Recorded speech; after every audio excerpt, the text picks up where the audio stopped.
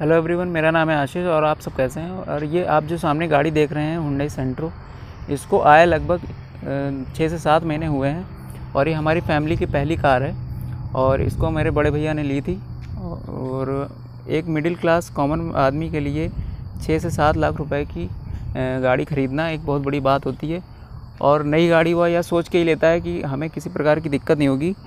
और क्योंकि आदमी लेने को पुरानी गाड़ी भी ले सकता है, नई गाड़ी इसलिए परचेज़ करता है कि पाँच से छः साल हमें कोई दिक्कत नहीं टायर से रिलेटेड इंजन से रिलेटेड कोई दिक्कत नहीं होगी। लेकिन ये गाड़ी जब से आई है मुश्किल से एक महीना सही चली होगी और तब से ये प्रॉब्लम क्रिएट कर रही है। मेन सबसे बड़ी प्रॉब्लम इसमें स्टार्टिंग की प्रॉब्लम आ रही है। स्टार्टिंग की प्रॉब्लम यह है, अगर ये सी पे इसको स्टार्ट करो तो पाँच से छः बार सेल्फ लेना पड़ता है और बीच रास्ते में कहीं बंद हो गई तब तो चौराहे पे अगर बंद हो गई तो स्टार्ट ही नहीं होती है पता लगा पीछे जो है अच्छा खासा जाम लग गया। और कई कई बार तो हमें धक्का लगा के किनारे करना पड़ा, उसके बाद ही स्टार्ट हुई। अगर कोई हुंडई से देख रहा हो तो मैं उसको प्लीज़ ये अपनी सर्विस पे ध्यान दे कि अगर ऐसे ही कॉमन मैन आदमी के साथ खिलवाड़ किया जाएगा कि आप जो है छः से छः लाख रुपए की कोई कार ख़रीद रहा है, उसको आप ऐसी सर्विस प्रोवाइड करेंगे तो उसका क्या होगा?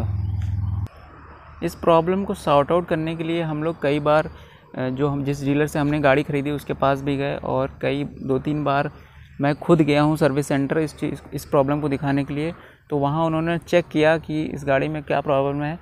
तो हम लोगों ने जब दिखाया तो उन्होंने बताया कि इस गाड़ी में कोई प्रॉब्लम नहीं है। तो हम लोग गाड़ी लेके वापस आ गए। लेकिन जैसे ही हम लोग वहाँ से ले, लेके निकले, रास्ते में फिर प्रॉब्लम शुरू होना स्टार्ट हो गई। तो ये गाड़ी ले जब से लिए हम लोग, बहुत ही परेशान हैं। और हुंडई जैसा ब्रांड है हुंडई इतना अच्छा ब्रांड है, उसके बावजूद हमें ऐसी प्रॉब्लम झेलनी पड़ी है। अब गाड़ी के लगभग दस हज़ार कंप्लीट हो गए हैं, दस हज़ार किलोमीटर, और ये गाड़ी पहली बार सर्विसिंग पे गई थी। और सर्विसिंग पे डालने के बाद जब हम लोग इसको लेने गए तो वहाँ पे पता चला कि इस गाड़ी में कई सारे पार्ट्स चेंज ख़राब हो गए हैं, जिसकी वजह से इसको चेंज करना पड़ा। और सबसे मेन प्रॉब्लम उन्होंने बताया कि जो स्टार्टिंग में प्रॉब्लम आ रही थी, वो इसलिए आ रही थी क्योंकि सीएनजी टैंक में ही कोई इशू था।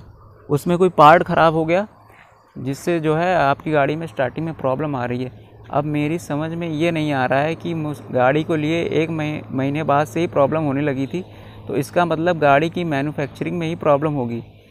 सर्विस कराने के बाद जब हम लोग वहाँ से निकले तो कंपनी वालों ने बताया कि सर, हमें आप पंद्रह दिन का या बीस दिन का टाइम दीजिए और इसका पार्ट मैं चेंज कराऊँगा।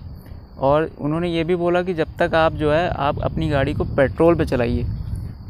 अब मिडिल क्लास आदमी सीएनजी गाड़ी ख़रीदता है कि मैं थोड़ा सा पैसा बचा सकूँ और पेट्रोल पे ज़्यादा पैसा ना खर्चो।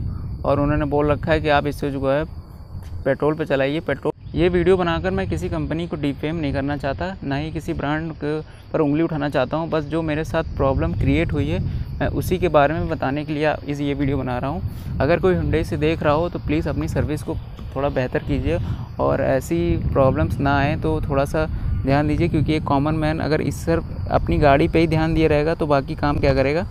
इसलिए मैं ये वीडियो बनाया और वीडियो देखने के लिए धन्यवाद। चैनल को सब्सक्राइब कीजिए और वीडियो को लाइक कीजिए। Thank you so much.